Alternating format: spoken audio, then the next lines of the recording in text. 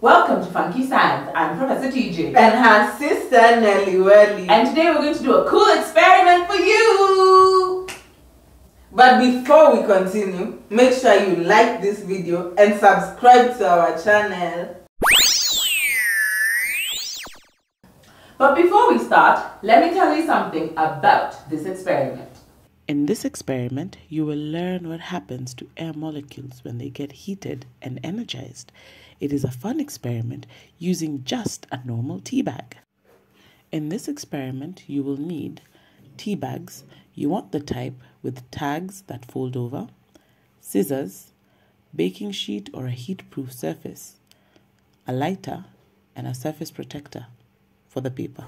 And remember, kids, always have an adult present as you're doing this experiment. Safety first. All the time. So, Nelly Welly, Yes. are you ready to start? Mhm. So, first thing we're going to do in making our tea bag rocket, we're going to cut off this part of the tea bag. See?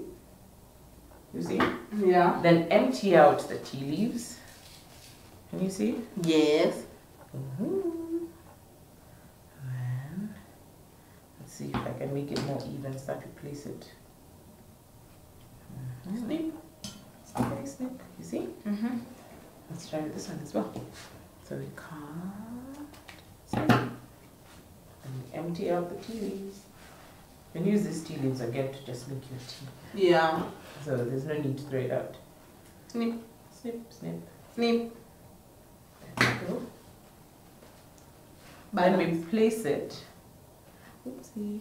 Let's place first this one Mm-hmm. on top. Then what we're going to do, Mm-hmm. we're going to take our lighter Mm-hmm. and light the top of the tea bag and watch what happens. Watch it, watch it, watch it. So cool.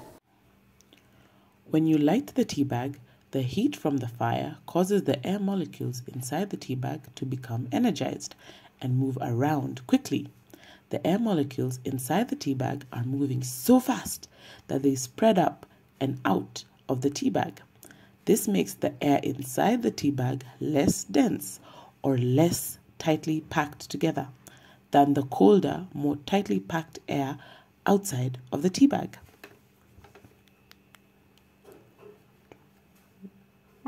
I hope you at home were able to do this fun experiment. This is all we have for you today. See you next time on FunKe Science. Bye.